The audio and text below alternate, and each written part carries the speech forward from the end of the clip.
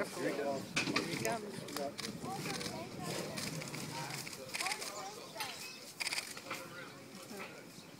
Come this way, honey.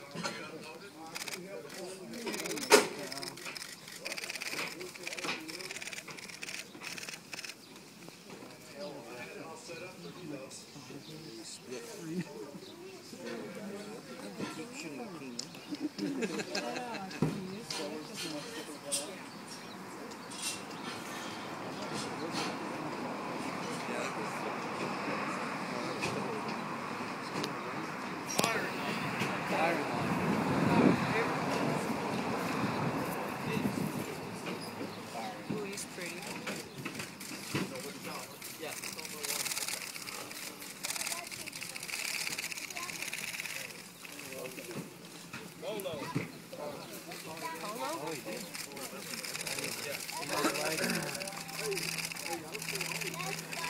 this person's name?